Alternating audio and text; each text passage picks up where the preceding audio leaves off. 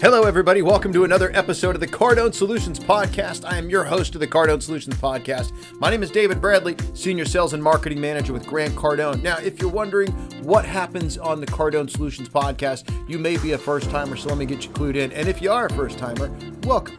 Thank you so much for being here. I appreciate it. For those of you that keep coming back, uh, episode after episode after episode, thank you so much for being here.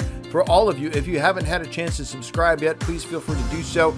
Also, if you're getting something out of it, make sure that you're sharing this out into the cyberspace. Tweet this sucker out, tag me in it so I know you did.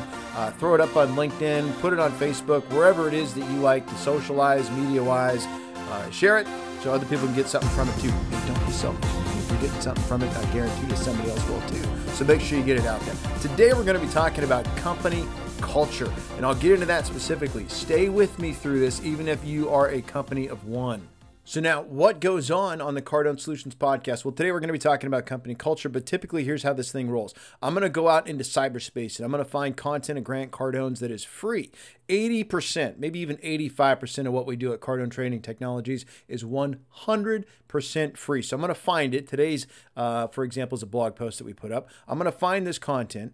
I'm going to take it, I'm going to break it down, I'm going to dissect it, I'm going to give it back to you uh, with some measurable action ideas and some things to think with. This one was really easy for me to put together, uh, but I want you to be able to take this information and then plug it into your sales and your business and your life and do what with it? That would be get a result. And since we're going to address the issue of company culture, today's episode is being brought to you by Cardone University. This is the number one sales training program in the galaxy. Whether you are a business of 1, 100, 100,000, a 15 to 30% increase is entirely possible, if not guaranteed, when you implement our four step process. And if you need to improve your company culture, this is the way to do it. Stay to the end because I'm going to give you some ways to access Cardone University for free. And I'm also going to give you a link that you can go to to get four videos with Grant talking about and enhancing, adding wood to the fire that I'm about to build. Okay, you ready? Okay, here we go. Let me start off with a question. What is your company culture like? So, whether you are a uh, company of one or 10 or 100, 1,000, more, less, somewhere in there, think about the culture in your company. Have you ever heard the phrase, as in the macro, so in the micro? What about the phrase, you don't build your house on a sand foundation? Houses and buildings, they need to be built to withstand the environment they are in. So, for example, uh, in California, you, you have to have uh, your house needs to be, or your building for that matter, needs to be earthquake proof. And uh, if you're in South Florida, then you need to have some hurricane proof action going on, right? So the question would be Is your company crisis proof. So, as I mentioned, today's episode, I'm pulling it from a blog that Grant did. And in, in the blog, Grant lists off three things that you need to do in order to build uh, a company culture that's dynamic and durable. So, I mean, just think about what's going on right now, you know? So, you want to just keep in mind these three things, and we're going to go over all of them. And I want you to start keeping in mind or thinking with how does this apply to all companies. That's Fortune 500, that's small business, that's the entrepreneur, that's the solopreneur, people working from home. Hi. Okay, they need to do these three things. We do. All of us.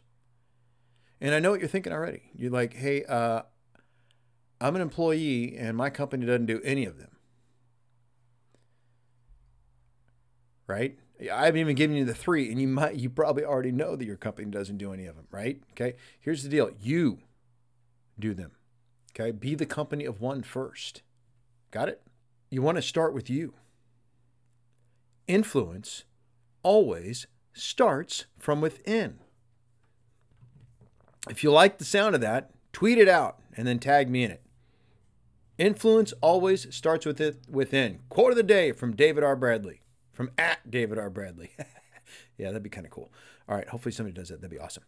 Influence always starts from within at David R. Bradley. So uh, here's what I'm going to do I'm going to go over this list with you.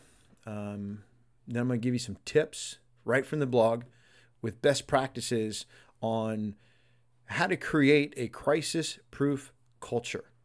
And again, as I mentioned, I, as I'm going over this stuff, I want you to just think with how can I do this? Don't think about why you can't. Don't think about uh, why that wouldn't work in your company uh, because you're different, because we've heard it all before. Okay. As Grant says, to change, you got to change. Okay. So think about how can you do it? How are you going to tackle it? So the top three ways to create a crisis-proof company. Number one, establish a daily morning meeting of champions. Two, provide a dynamic culture with a dynamic space. Three, the team is the core of the culture. Okay? So, there are five ways. Five ways you can have a morning meeting of champions. And this happens in the Miami office every single day. Open this thing up before it even starts. Have some energizing music going on when everyone's walking in, right? It loosens people up.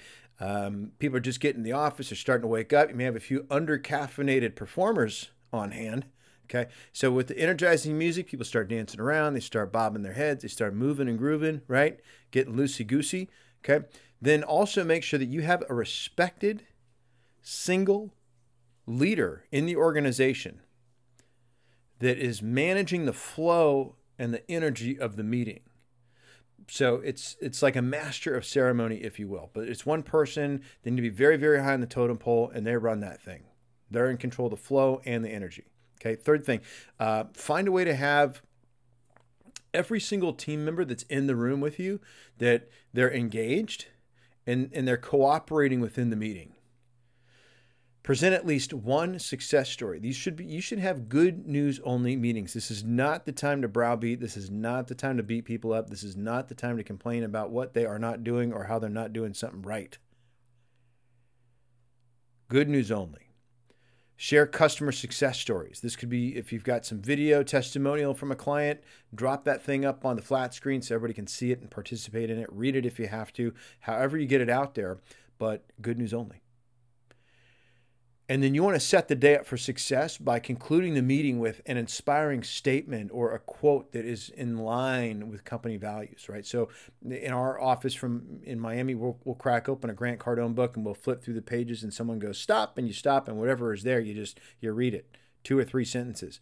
It's it's that easy, right? Uh, if you use Cardone University in your company now, end it with uh, Grant's got a hundred ways to stay motivated. Drop one of those in there. Those are like or top traits of great salespeople. Those videos are like a minute, two minutes max. Okay, something that is inspiring that gets everybody reflecting on company values and taking some action today, so that when they go into the meeting, they're leaving their day or they're leaving the meeting going into their day in the right frame of mind.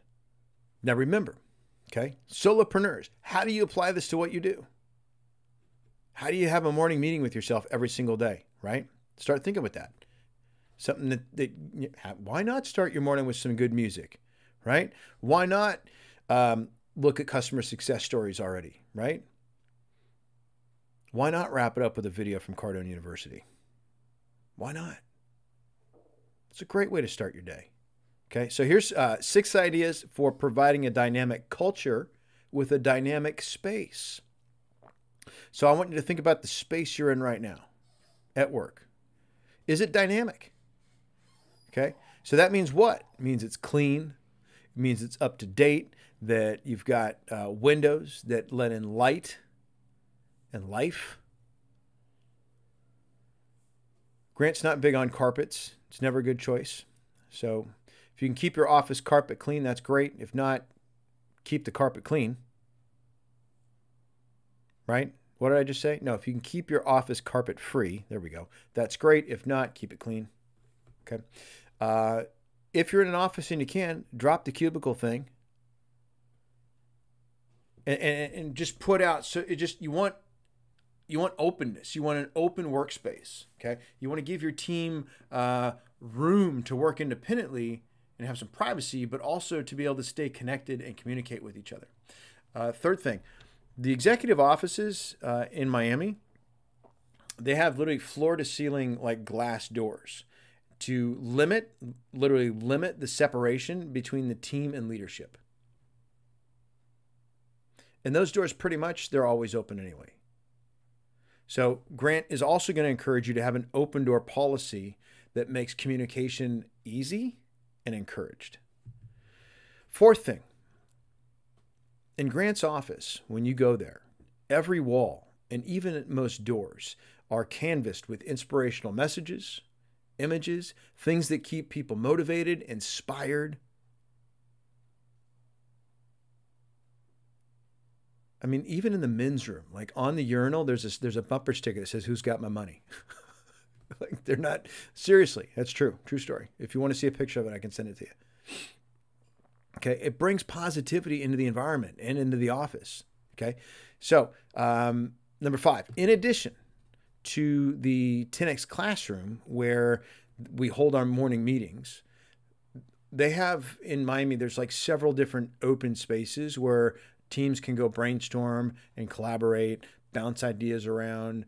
Um, and you want you want your team to be able to have like these open spaces, open areas where they can just put their creative heads together and, and solve problems and flow. And then the sixth thing is Grant wants like everyone who works there to be able to give their very best. It's very important for him. Which is why like they use only the most contemporary, modern, and advanced technology available. You want everything to be up to date, everything to be performing at a high rate so it doesn't slow you down. I mean, think about that for a second. When your tech ain't working, doesn't that just grind your gears? Doesn't it just drive you batty, nutty, right? So make sure your tech is up to date and functioning properly. And then the last one here, in terms of creating a crisis proof uh, company culture, is the, the team is the core of the company.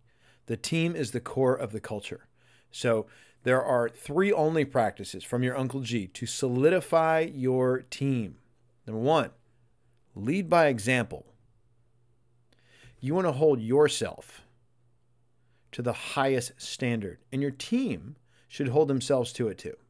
But until you do, you can't ethically push them to do the same. They will follow in your footsteps no matter what you do.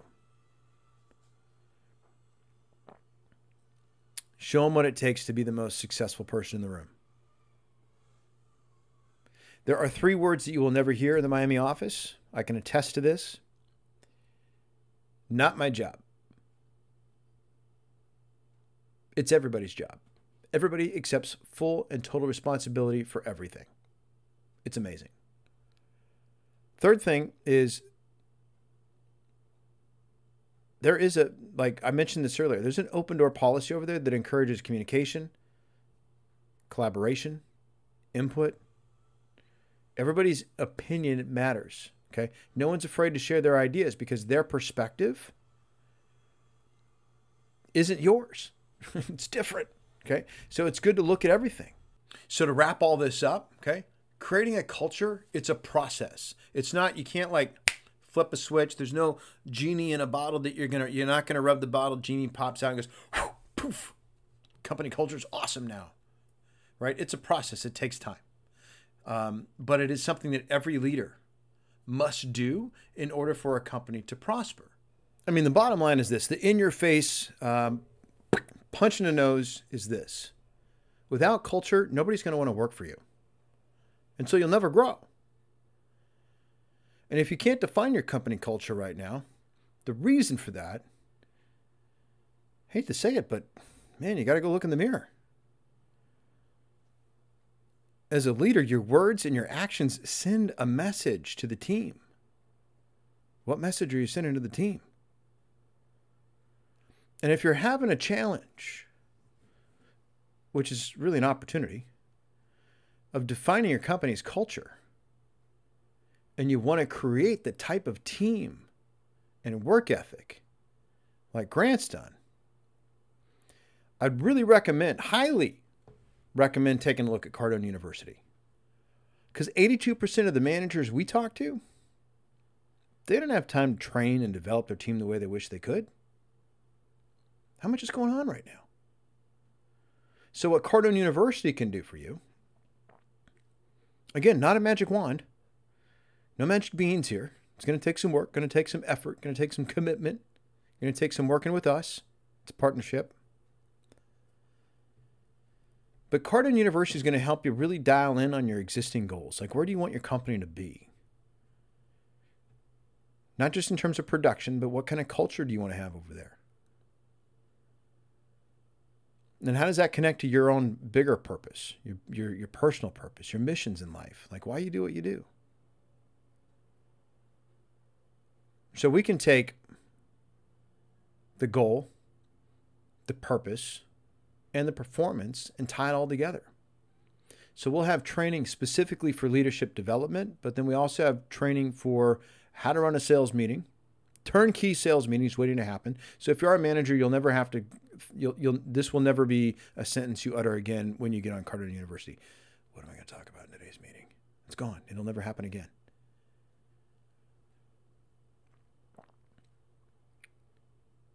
One-on-one sales meetings, motivational meetings, group skill development, coaching, independent study, practice, role play. That dynamic meeting I was talking about, it's our it's in Cardone University waiting for you. Right? You want to build that culture.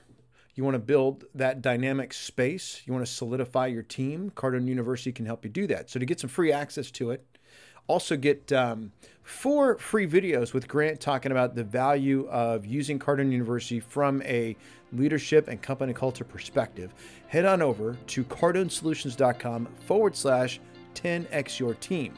That's cardonesolutions.com forward slash 10x your team. When you get there, you're going to find those uh, four different videos I was talking about, but you will also find uh, a little form that you can fill out to get on my calendar to take a look at this program and see some ways that you could leverage Cardone University in with your meetings, your group training, your one-on-one coaching, and your independent study and practice for.